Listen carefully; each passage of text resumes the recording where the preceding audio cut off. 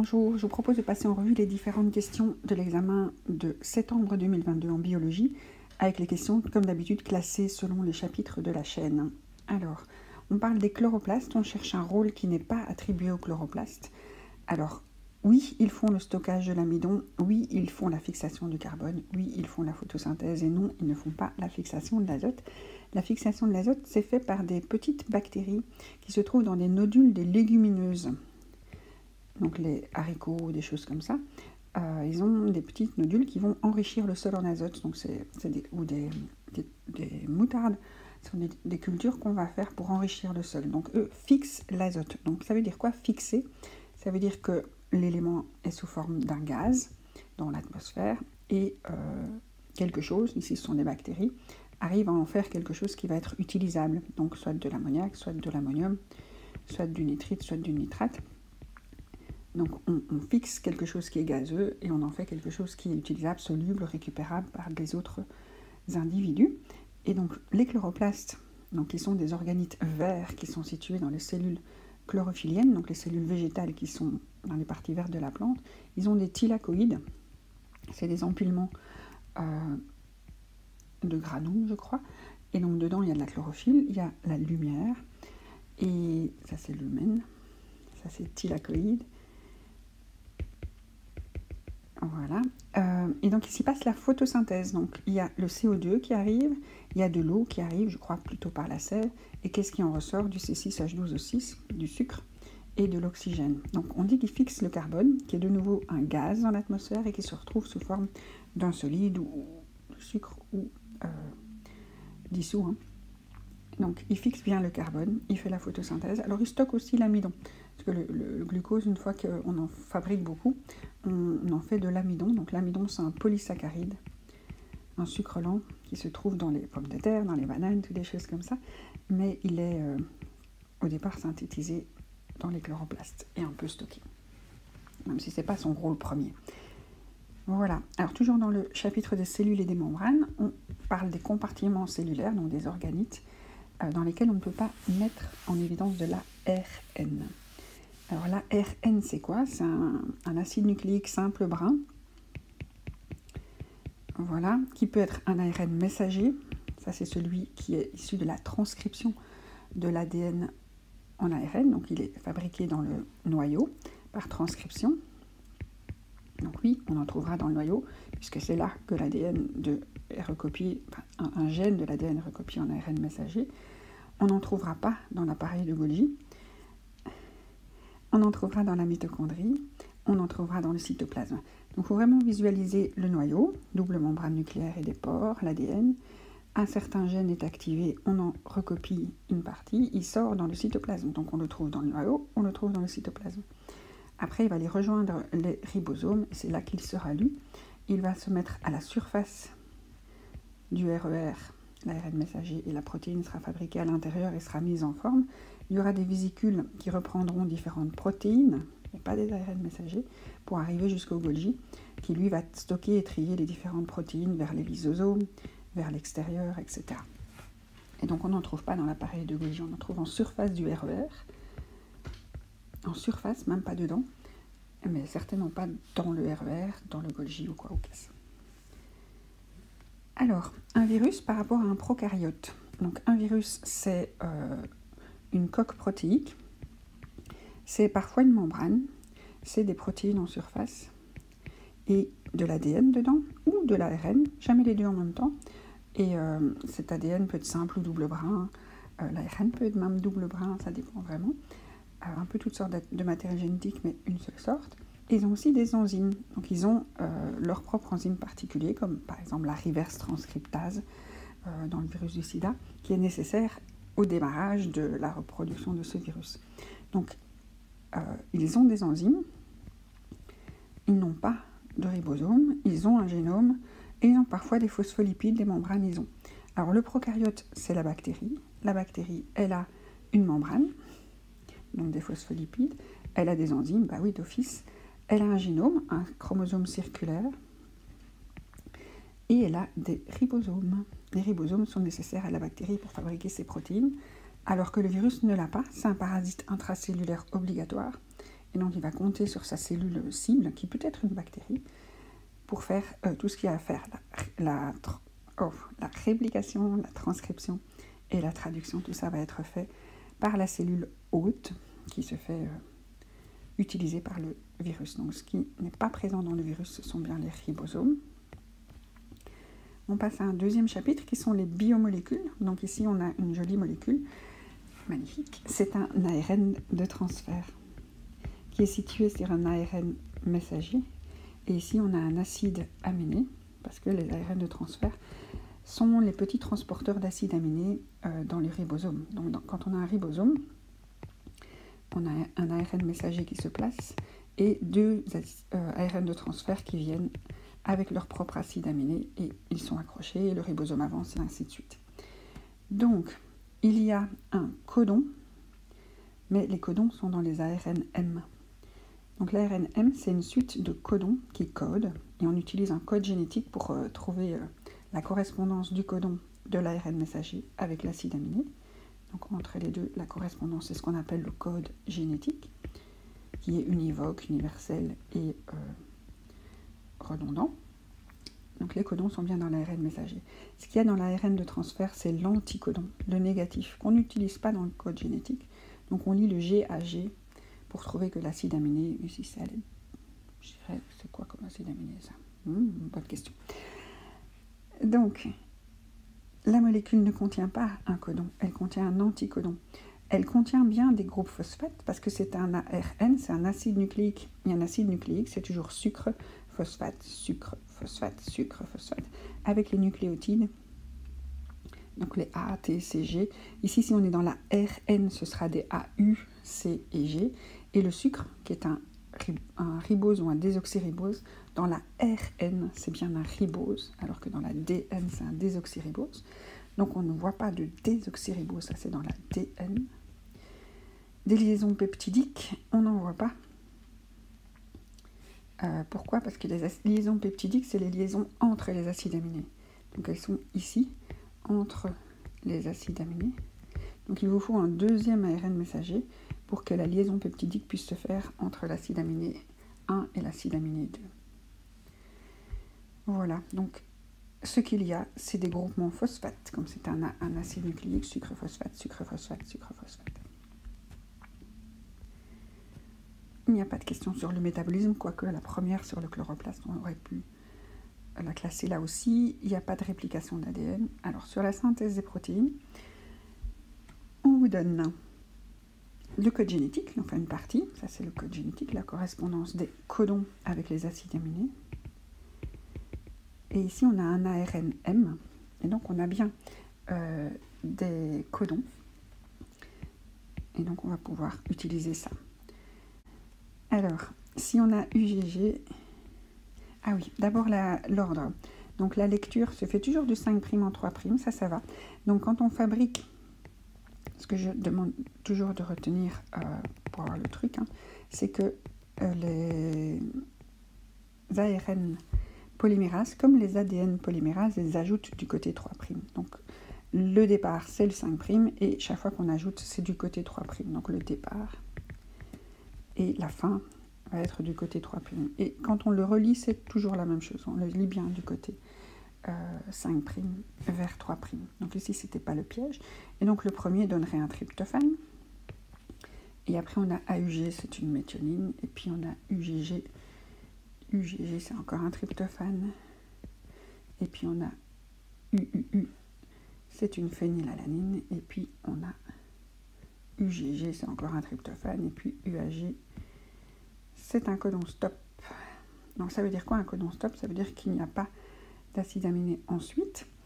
Après, ce qu'il faut aussi savoir, c'est que le codon méthionine est un codon initiateur. Donc, soit euh, on a un morceau et, donc on n'a pas vraiment le début, donc ça c'est un, codon start. Donc ici on a méthionine, tryptophane, donc on a en fait la bonne correspondance avec le stop. Donc ici, il y avait une erreur, il ne pouvait pas avoir de phénylalanine. Euh, le deuxième, il a démarré un petit peu plus tard. Il a attendu d'avoir un start. Oups. Et donc, il est bon. Le suivant, c'est le il va trop loin, puisqu'on a un stop. Et le dernier, je crois qu'ils l'ont mis à l'envers, j'imagine. Voilà. Et donc le bon, c'est plutôt le B. Pas spécialement parce qu'on est obligé de commencer au codon start, mais surtout parce que le codon stop euh, empêche de faire un dernier acide aminé. Euh, il n'y a pas de phénylalanine à cet endroit-ci.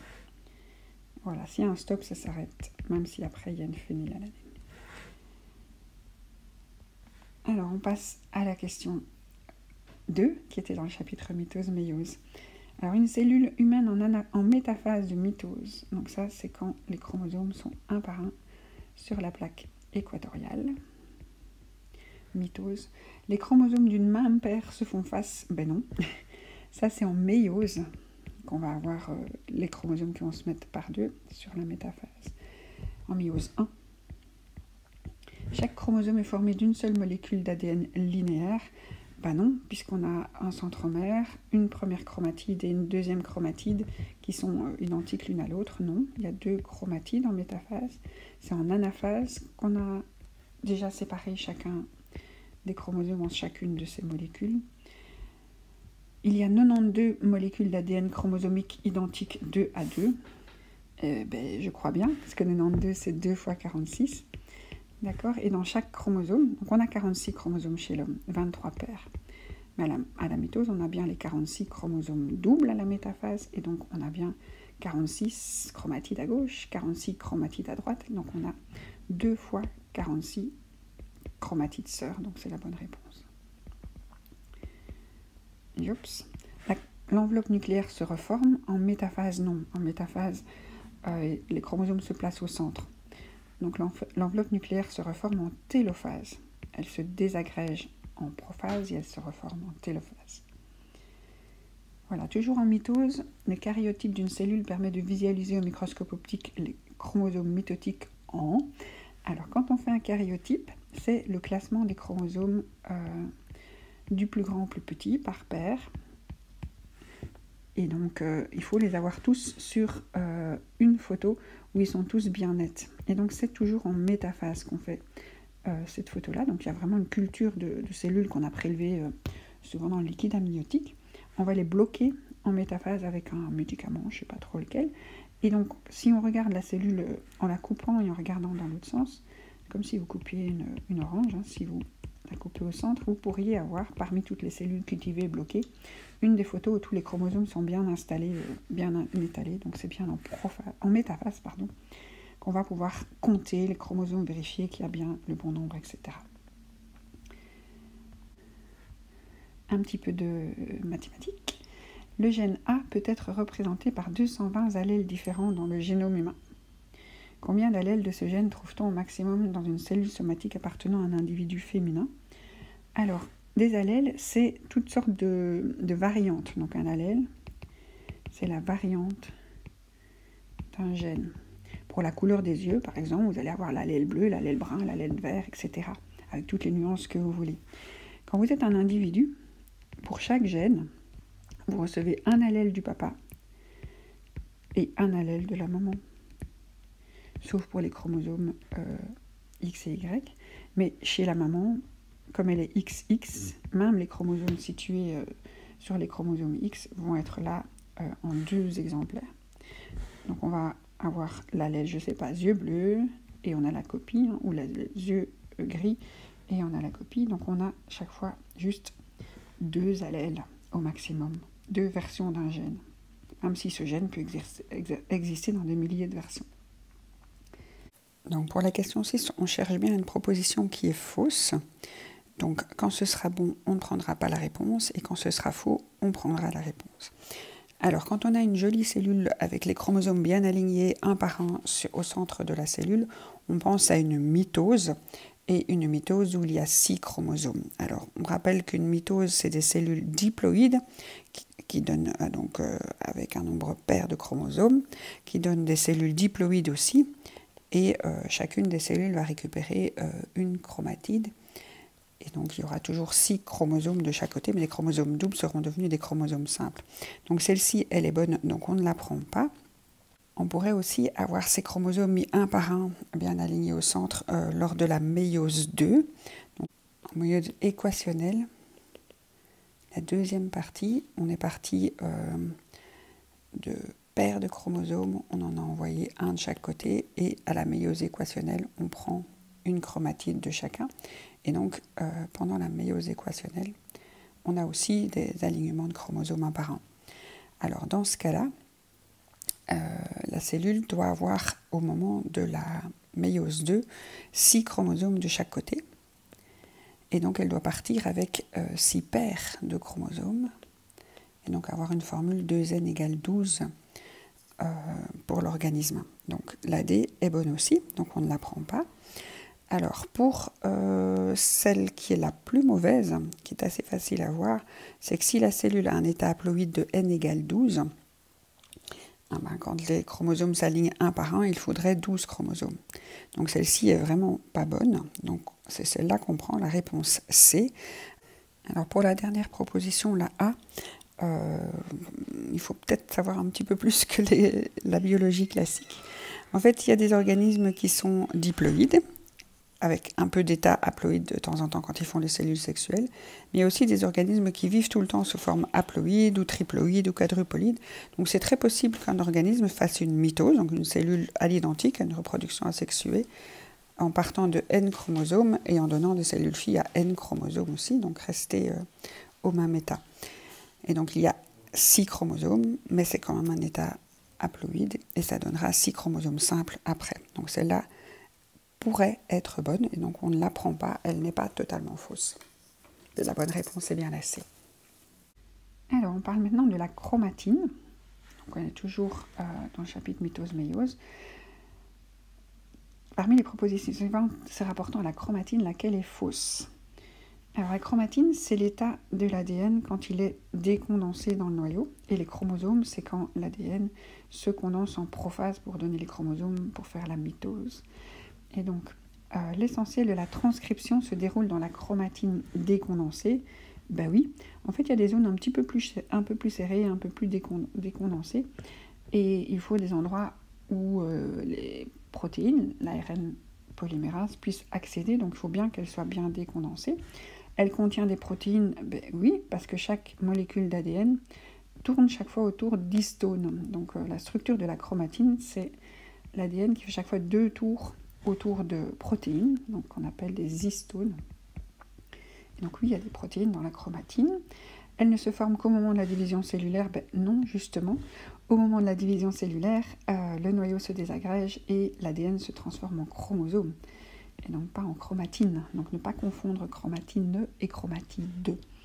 En interphase, la chromatine condensée est localisée principalement en périphérie du noyau et du nucléole. Euh, oui, donc si on regarde des photos de noyaux, c'est souvent plus foncé sur les bords. Et le nucléole est aussi une zone plus foncée. Donc condensé, ça veut dire plus dense, plus foncé au microscope. Alors pourquoi? J'en sais rien. Peut-être que l'essentiel du travail se fait plus au centre. Donc elles sont toutes vraies, sauf la C. On parle, il me reste à faire ma petite pub. Donc euh, si vous voulez soutenir mon travail et vous trouvez que ça vous aide, euh, vous pouvez rejoindre le groupe VIP Chimie Média. Euh, je demande 5 euros à chaque personne qui rejoint ce groupe. Qu'est-ce que vous obtenez en retour? Ben, euh, Mes remerciements et puis euh, l'accès aux documents des, vidéos. par exemple, pour cet examen, vous aurez accès aux questions dans le bon ordre, sans les réponses, pour vous entraîner et avancer selon les thèmes. Vous avez aussi accès à un groupe Messenger où je poste, j'essaye de poster à peu près tous les jours. En tout cas, quand on me pose des questions, euh, la question, une petite description de cette question et la réponse. Donc la description, la question permet de faire une recherche dans la conversation euh, sur plusieurs questions du même thème. Ou alors vous suivez l'entraînement comme ça chaque jour. Merci à vous et bon courage pour la préparation.